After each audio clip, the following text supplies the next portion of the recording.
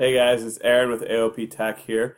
Um, and today I just wanted to do a quick little video to show how you can take Google Slides and turn it into Microsoft Publisher. Um, Publisher was a Microsoft product that really focused on page layout and design. And oftentimes when people move over to the Google platform, they miss that. Well, Slides does it. I'm going to show you how.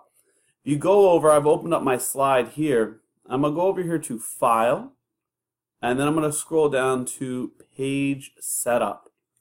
So I click on Page Setup. Now it gives me these three standards, but there's a custom layout. What you're going to do is go to Custom, and I would change this to 8.5, change this to by 11, hit OK, and all of a sudden it makes your slide into the size of a paper so it's easy to print out and hang for flyers or announcements.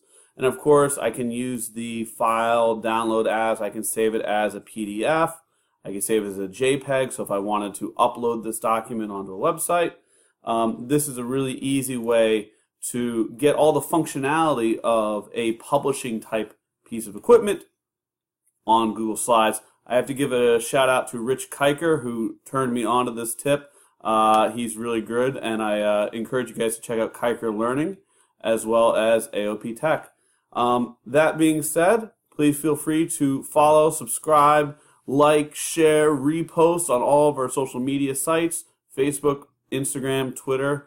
Um, our web address is aoptech.weebly.com, and of course, you can always reach out to Alyssa and I on either email or Twitter. Thank you very much. God bless.